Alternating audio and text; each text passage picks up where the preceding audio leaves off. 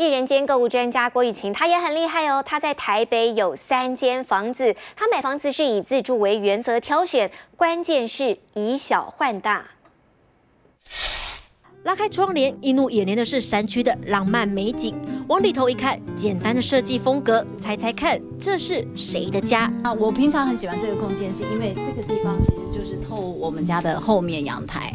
大方介绍自己的家，他是郭玉琴，是艺人，也是购物专家，喜欢宁静的山区。三年前买下中和半山腰的食品屋，五十八平的大空间，花了两千两百万。电视墙选用马来漆，客厅走混搭风格，欧式气派沙发，墙上的画是中国风。看到的所有家具和设计都是建商决定的，称为食品屋。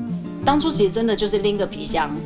然后我就把所有的东西，软体的东西，像什么书啦、衣服啦、鞋子啦等等，就是自己一些平平平常会用的东西搬进来而已。对我来讲，其实是方便，因为省去所谓的那种就是装潢施工。喜欢街上的设计是关键。瞧，开放式的餐厅旁边还有个小巧思，它是一个还蛮深而且很大的一个收纳的空间。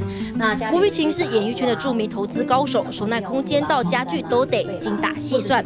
在台北。拥有三间房子，买房子不投资，而是自住。关键是以小换大，还得重视交通位置。买下现在的小豪宅后，郭玉琴出脱了景安捷运站旁边的三十平小公寓，净赚一倍以上。卖房有他的小配包，一定要住在所谓的市中心。那当然，你可能就要去用金钱去换比较小的平数。可是如果你喜欢的是比较开阔、比较大的空间，那我觉得其实可以稍微再往郊区一点点去做选择。能买下小豪宅，郭玉群大学毕业后靠着买下电子股票赚进人生第一桶金。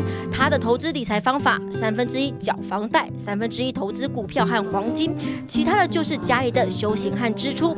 郭玉群建议年轻人要懂得存钱，做基本面的投资。才能钱滚钱买下人生第一栋房。记者刘浪和陈信台北报道。